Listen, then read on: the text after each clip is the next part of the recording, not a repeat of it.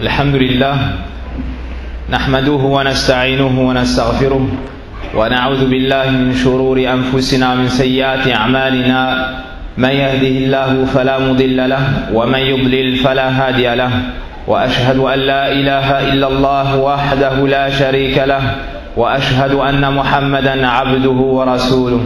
يا أيها الذين آمنوا اتقوا الله حق تقاته ولا تموتن إلا وأنتم مسلمون. يا أيها الناس اتقوا ربكم الذي خلقكم من نفس واحدة وخلق منها زوجها وبث منهما رجالا كثيرا ونساء واتقوا الله الذي تساءلون به والأرحام إن الله كان عليكم رقيبا يا أيها الذين آمنوا اتقوا الله وقولوا قولا سديدا يصلح لكم أعمالكم ويغفر لكم ذنوبكم ومن يطع الله ورسوله فقد فاز فوزا عظيما. أما بعد فإن أصدق الحديث كتاب الله جل وعلا وخير الهدي هدي محمد صلى الله عليه وسلم. وشر الأمور محدثاتها وكل محدثة بدعة وكل بدعة ضلالة وكل ضلالة في النار.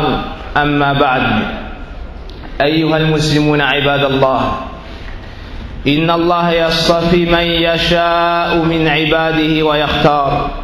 اختار مكة والكعبة المشرفة قبلة للمسلمين. واختار محمدا نبيا ورسولا إلى العالمين صلى الله عليه وسلم واختار له خير الأصحاب أئمة الهدى والتقى ومن هؤلاء الأتقياء ومن هؤلاء النجباء العلماء الخليفة الرابع أمير المؤمنين علي بن أبي طالب رضي الله عنه أبو الحسن أبو الحسن وهو ابن عم النبي صلى الله عليه وسلم وصهره على ابنته فقد تزوج بنت النبي صلى الله عليه وسلم سيدات سيدة نساء أهل الجنة فاطمة رضي الله عنها.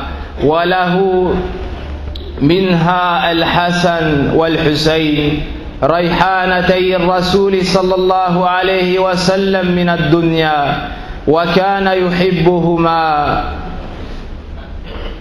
ولد علي رضي الله عنه قبل البعثة بعشر سنين. كما قال الحافظ ابن حجر رحمه الله تعالى ولد في أشرف بقاع الأرض في مكة المكرمة. أسلم مبكرا وهو من فهو من السابقين الأولين من المهاجرين ممن أثنى الله عليه ممن أثنى الله عليهم في كتابه الكريم. أسلم وله عشر سنين عشر سنين. لازم النبي صلى الله لازم النبي صلى الله عليه وسلم وتربى بين يديه والظاهر أنه لم يقرب عبادة الأصنام قط. علي بن أبي طالب من هو؟ يكفيه شرفا أنه تزوج خير نساء العالمين. وله خير الأولاد من شباب أهل الجنة الحسن والحسين. ونفسه بشر بالجنة كما في حديث سعيد بن زيد حديث المبشرين بالجنة العشر الحديث المعروف.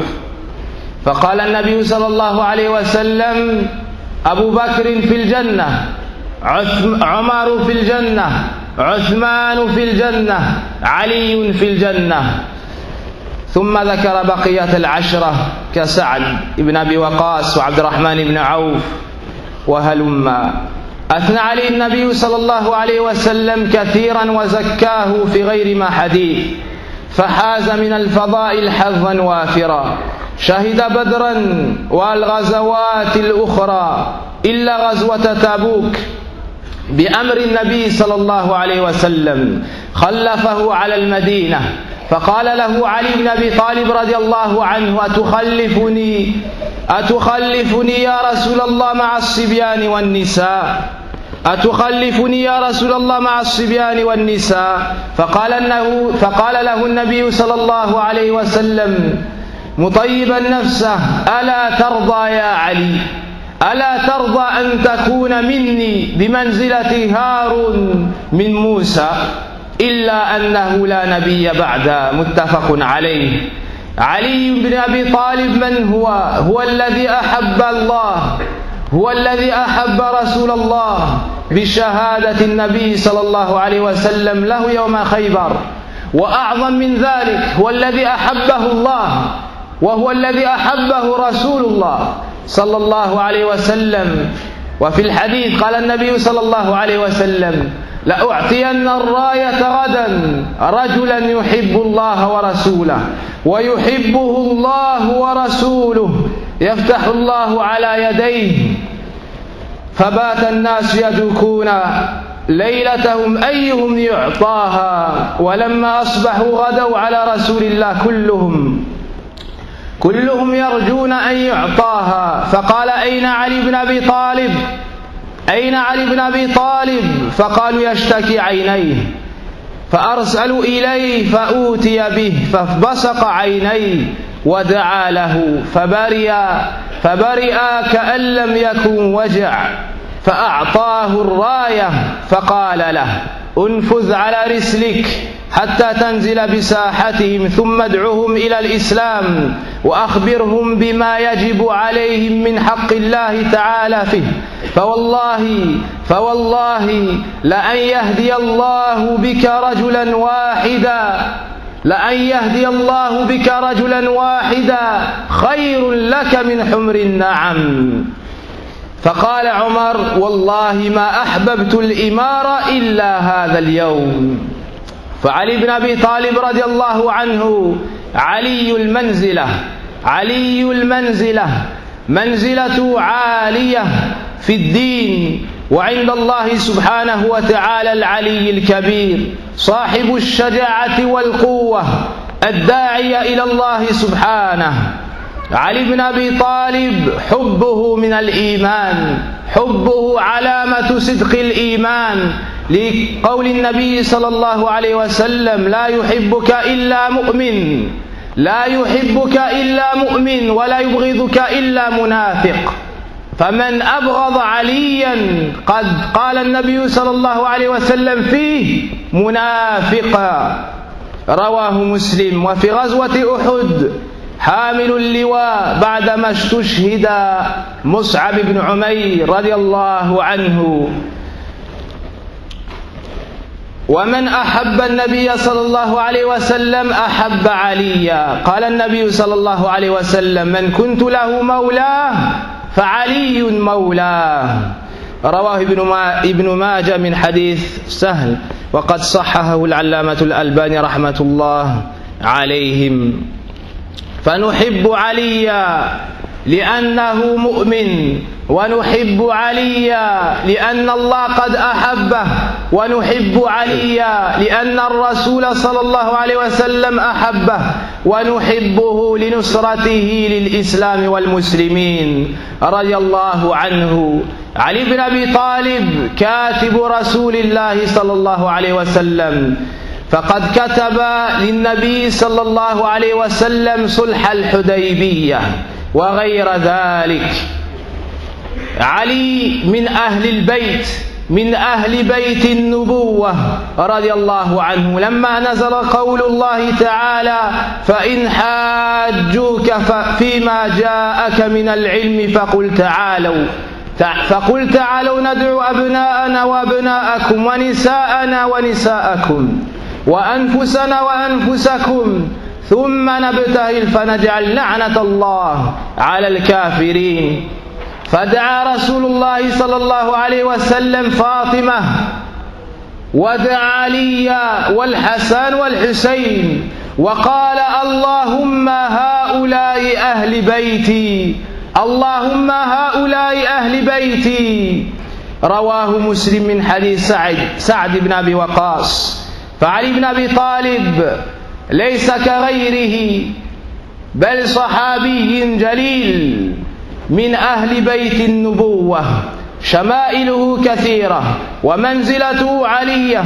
حتى قال بعض أهل العلم منهما الإمام أحمد بن حنبل رحمه الله ما ثبت من الفضائل ما ثبت من من الفضائل بما تعلق بالصحابة ما ثبت لعلي بن أبي طالب. وهو من الست وهو من الستة التي الذين توفي عنهم الرسول وهو عنهم راض صلى الله عليه وسلم. ودليل ذلك لما استشهد عمر جعل جعل الشورة لاختيار الخليفة بعده بين ستة الذين توفي عنهم الرسول وهو عنهم راض ومنهم علي ابن أبي طالب رضي الله عنهم أجمعين. وبعد موت النبي صلى الله عليه وسلم بايع أبا بكر وبعد موته بايع عمر وبعد موته بايع عثمان رضي الله عنهم. كان قريبا منهم مطيعا لهم ناصحا لهم. وكانوا يقبلون مشورته لكثرة علمه وسدده في الفهم ومع كل هذه الفضائل وما أثنى عليه النبي صلى الله عليه وسلم عليه كان متواضعا زاهدا في الدنيا زاهدا في الحكم وكان يكره العلو فيه. ولما جاء جاءت الصحابة رضي الله عنهم له ليبايعوه رفض في أول الأمر ثم قبل ذلك. ويبين لنا ذلك أنه ما كان طامعا في الخلافة بل زاهدا فيه رضي الله عنه. ولما ولي الخلافة ابتلي بفريقين فريق قصر في حقه وفريق غلا فيه. وهما الخوارج والشيعة. فعاش خلافته في زمن الفتن وعالج الفتن كما استطاع رضي الله عنه. وله وصايا كثيرة منها. قال رضي الله عنه أخوف ما أخاف عليكم طول الأمل طول الأمل واتباع الهوى. فأما طول الأمل فينسي الآخرة. وأما اتباع الهوى يصد عن الحق إلى أن قال اليوم عمل ولا حساب وغدا حساب ولا عمل. فنسأل الله سبحانه وتعالى يوفقنا إلى كل خير. اللهم صل وسلم على رسول الله الأمين.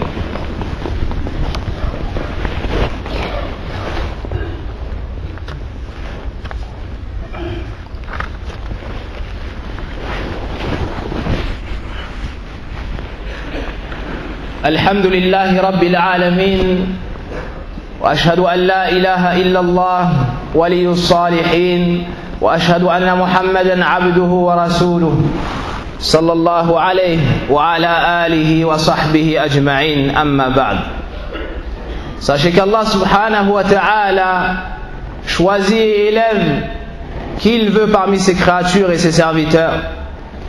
Il a choisi la Mecque et la Kaaba en tant que direction de prière pour les musulmans.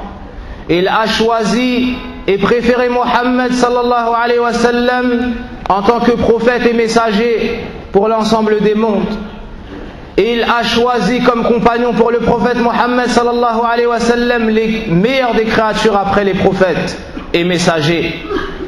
Les gens les plus pieux, les plus savants et les plus sages.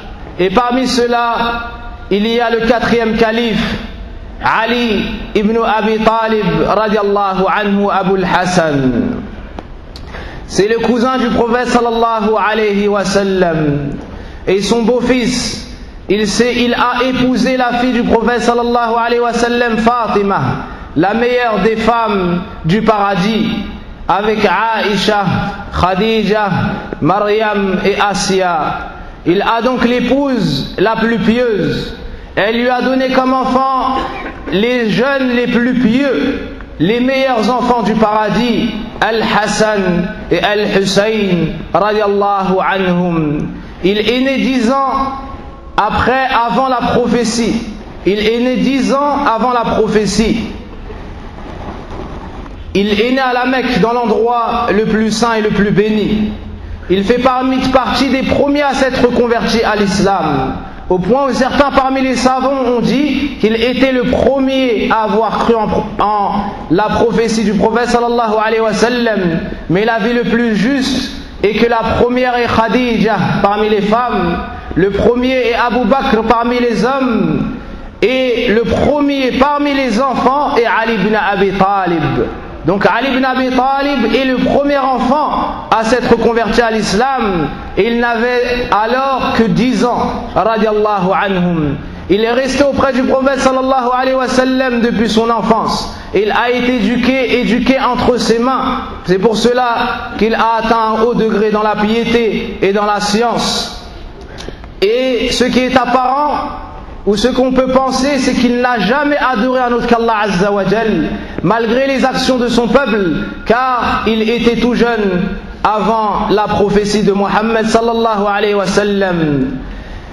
Ali ibn Abi Talib anhu fait partie de ceux qui ont été promus au paradis. Il a reçu la bonne nouvelle du prophète sallallahu de son vivant. Lorsque le prophète sallallahu alayhi wa a cité dix personnes parmi les gens qui entreront au paradis, il a cité en quatrième position Ali ibn Abi Talib anhu. Et de nombreux hadiths nous ont été cités quant à ses mérites et sa grande valeur dans l'islam et auprès des musulmans. Il a participé à la bataille de Badr. Et avant la bataille, les Arabes avaient comme, avaient comme habitude qu'il y ait des défis, l'un contre l'autre. Une personne donc du camp des musulmans et une personne du camp des associateurs. Il y, a, trois personnes parmi les mécréants de la Mecque qui se sont avancées et ont demandé à prendre en défi trois personnes parmi les musulmans. Alors un groupe parmi les Ansars se sont avancés. Les mécréants de la Mecque ont répondu Vous êtes des personnes nobles, mais on veut les gens de notre tribu, les gens de Quraysh, les gens de la Mecque. Alors le prophète sallallahu alayhi wa sallam a dit Hamza, lève-toi. Ali, lève-toi. Et il a appelé un troisième. Et ils se sont battus Hamza a tué son adversaire. Ali radiallahu anhu a tué son adversaire. Et si je ne me trompe pas, Ubaïda a été blessé, a blessé son adversaire. Ensuite, Hamza et Ali ont tué le troisième adversaire. C'était un homme courageux et qui avait une grande force. Et à la il a participé à la plupart des batailles, sauf quand le prophète sallallahu lui a ordonné de rester à Médine. Et à la bataille de Tabouk, lorsque le prophète sallallahu alayhi l'a laissé à Médine et lui a dit tu seras responsable. Ali ibn Abi Talib est parti voir le prophète wa et lui a dit Comment? Tu vas me laisser avec les femmes et les enfants Sachant que dans cette bataille, sachant qu'à cette bataille, ne, sachant que ne se soit pas rendu à cette bataille, comme cela est connu, que les hypocrites ou ceux qui avaient une excuse. Alors Ali radiallahu anhu, se croyant ferme, a insisté pour participer à la bataille. Alors le prophète wa lui a dit Ne veux-tu pas être pour moi comme Haroun a été pour Moussa? Ne veux-tu pas être pour moi? Ne veux-tu pas avoir la même place qu'avait Haroun par rapport à Moussa? Alors Ali radiallahu anhu a été satisfait. Et le prophète sallallahu alayhi wa lui a dit Si ce n'est qu'il n'y aura pas de prophète après moi. Ali ibn Abi Talib, c'est la personne qu'Allah a aimée. C'est la personne que le prophète sallallahu alayhi wa sallam a aimé. Et c'est celui qui a aimé véritablement Allah et son messager sallallahu alayhi wa sallam. Le prophète sallallahu alayhi wa sallam, la veille de la bataille de Khaybar, a dit Demain, je vais donner l'étendard, le drapeau qu'on porte dans la bataille. Je vais donner l'étendard à un homme qui aime Allah et son messager. Et qu'Allah et son messager aiment. Alors tous les compagnons cette nuit ont discuté et chacun a espéré être celui à qui on, remettra l'étendard. Le lendemain, ils sont tous venus voir le prophète sallallahu alayhi wa. Le prophète sallallahu alayhi wa sallam a dit Où est Ali ibn Abi Talib? Ils lui ont dit Il a une douleur aux yeux. Alors, ils le prophète sallallahu alayhi wa l'a convoqué. Il lui a poustillonné dans les yeux et a fait dua pour lui. Alors Ali radiallahu anhu a été guéri par Allah subhanahu wa ta'ala comme s'il n'avait jamais été malade. Ensuite il lui a dit, tu vas te rendre à tel endroit, appelle-les à l'islam et informe-les des droits d'Allah sur eux. Par Allah, si par ta cause Allah guide une seule personne à l'islam, cela vaudra mieux pour toi que les chamelles rousses. Les chamelles rousses, les rousses étaient la richesse la plus aimée chez les Arabes. Omar ibn al-Khattab a dit c'est le seul jour où j'aurais aimé être dirigeant. Contrairement à nous qui nous battons pour le pouvoir, Omar ibn al-Khattab a dit c'est le seul jour dans ma vie où j'aurais aimé être le dirigeant. Ali ibn Abi Talib était un homme courageux, un homme fort, un homme qui, a transmis la religion d'Allah. Le prophète sallallahu alayhi wa sallam l'a envoyé au Yémen pour apprendre aux gens leur religion. Il a choisi Ali car il faisait partie des plus savants parmi les compagnons. Le prophète sallallahu alayhi wa sallam a dit celui qui m'aime qu'il aime Ali. Le prophète sallallahu alayhi wa sallam a dit parmi le signe de la foi le fait d'aimer Ali. Et parmi le signe de l'hypocrisie le fait de détester Ali. Alors tous ceux qui insultent les compagnons et ceux qui insultent Ali ibn Abi Talib sont des hypocrites. Sur la langue du prophète sallallahu alayhi wa sallam a été dit cela. Et nous on aime Ali radiallahu anhu et on aime Abu Bakr, Omar, Uthman et l'ensemble des compagnons du prophète sallallahu alayhi wa sallam. C'était celui qui écrivait pour le prophète sallallahu alayhi. Il a écrit le pacte de Hudaybiyah. Ali ibn Abi Talib fait partie de la famille du prophète sallallahu alayhi wa sallam. C'était un homme qui était proche des gouverneurs après la mort du prophète sallallahu alayhi wa sallam. Il était proche d'Abu Bakr, Omar et Uthman.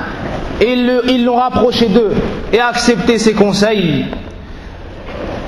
Le prophète sallallahu alayhi wa sallam, dans de nombreux hadiths, il a fait ses éloges et le temps ne, nous permet pas de citer plus que cela. Il a, donné beaucoup de conseils à la communauté, on va en citer un.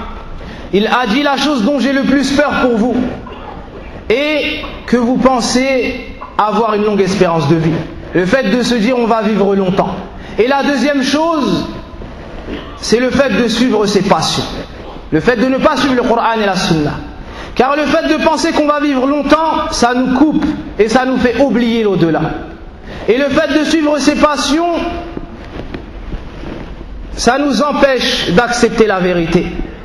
Ali ibn Abi Talib était une personne juste, une personne qui sentait constamment le regard d'Allah sur lui. Et on va finir par une histoire à l'époque de Ali ibn Abi Talib, alors que c'était le gouverneur. Il a fait tomber son armure qui était sur son cheval et un juif l'a ramassé.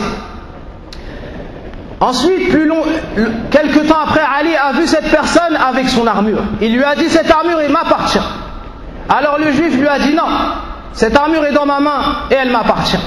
Alors Ali est parti voir le juge, alors que c'était lui le gouverneur. Et le juge était le Qadi Shurayh, le Qadi al-Ma'rouf. Il est rentré, le Qadi lui a dit Assalamu alayka ya Amir al-Mu'minin. Ali lui a dit Il lui a dit ne m'appelle pas Amir al-Mu'minin. Je suis venu pour me plaindre d'un tel qui m'a volé mon armure. Alors le juge a dit à, la personne qui avait volé l'armure Est-ce que cela t'appartient? Il a dit oui. Il a dit à Ali Est-ce que tu as une preuve que cela t'appartient? Il a dit non. Mais Al-Hassan et Al-Hussein sont témoins de cela. Il lui a dit non, car ce sont tes enfants, ils ne peuvent pas témoigner pour toi. Il lui a dit comment cela, ils font partie des enfants du paradis? Il lui a dit désolé, mais ils ne peuvent pas témoigner. Alors il lui a dit pars avec ton armure. Il a laissé le juif partir avec son armure. Le juif, en sortant, s'est arrêté à la porte du tribunal. Il a médité cette situation. Il a médité la justice qu'il y avait dans l'islam et chez les musulmans.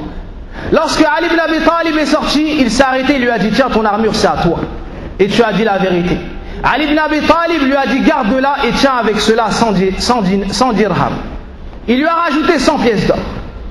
Il lui a rajouté 100 pièces d'or. Le juif a dit j'ai fait cela juste pour voir comment vous les musulmans, vous allez juger quelqu'un qui ne fait pas partie de vous. Je vous ai raconté cette histoire pour vous montrer la justice qui règne dans l'islam et chez les musulmans. Contrairement à ce qu'on essaye de faire croire, avec cette khutbah on a conclu l'histoire des quatre califes, ou en une partie de l'histoire des quatre califes, et bien si Allah nous garde en vie, on continuera l'histoire de certains parmi les compagnons, radiallahu anhum, وصل اللهم على نبينا محمد وعلى آله وصحبه وسلم تسليما. اللهم ربنا آتنا في الدنيا حسنة وفي الآخرة حسنة وقنا عذاب النار.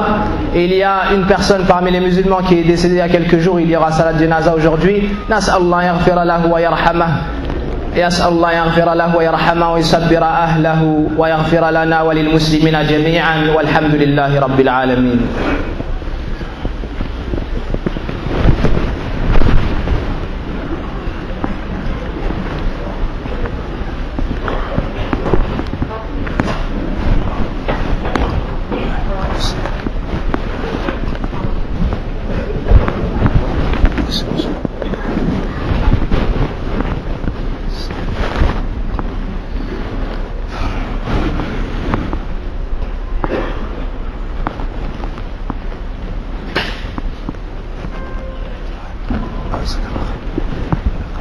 الله اكبر الله اكبر اشهد ان لا اله الا الله اشهد ان محمدا رسول الله حي على الصلاه حي على الابراهيم قامت الصلاه وقامت الصلاه الله اكبر الله اكبر لا اله الا الله استوت راسه سدوا الخلل وهادوا بين المناكب والأقدام أتموا الصفوف أتموا الصف